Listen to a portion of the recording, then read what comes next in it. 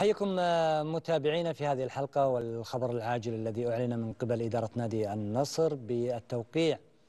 مع أسطورة المنتخب البرتغالي أسطورة دوري أبطال أوروبا الأسطورة الكروية كريستيانو رونالدو ليكون لاعبا نصرويا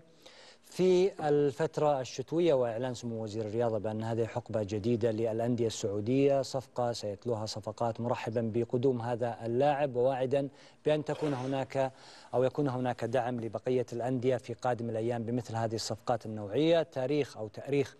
الكرة السعودية بمثل هذه الصفقات فنيا وكذلك إعلاميا ومتابعة سيؤرخ